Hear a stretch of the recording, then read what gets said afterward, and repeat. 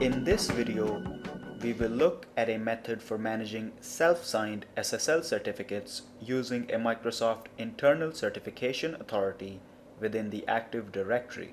This video is based on VMware Knowledge Base article 2020913.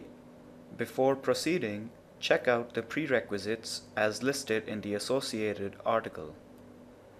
To open the Certificates Management Console in the connection server, click on Start and type MMC and press Enter. Click on File and select Add Remove Snap-in. Select Certificates, click on Add. Select Computer Account and click Next. Select Local Computer and click Finish. Click OK. To request a new certificate, expand Certificates and click on Personal. Under Objective Type, right-click and select All Tasks and select Request New Certificate. Read the information on certificate enrollment and click Next.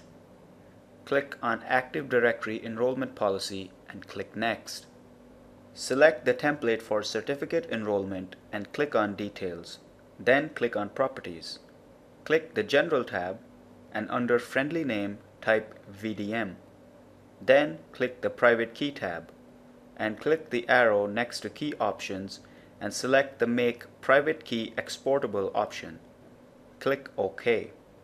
Click Enroll. Click Finish.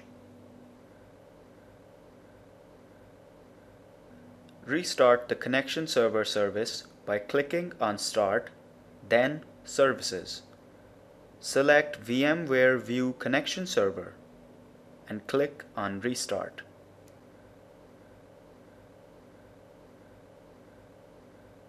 It is worth noting that if you use any browser other than Internet Explorer to access the View Administration Console, you must add an exception for the connection to be trusted. I will do so now. Also, when you first log into the View dashboard, the connection server will appear red. After 2 to 5 minutes, the connection server should appear green and the SSL certificate valid, but you might have to manually refresh the dashboard. This concludes our look at managing self-signed SSL certificates using a Microsoft internal certification authority within the Active Directory. For further tutorial videos, be sure to subscribe to our KBTV YouTube channel and our KBTV blog.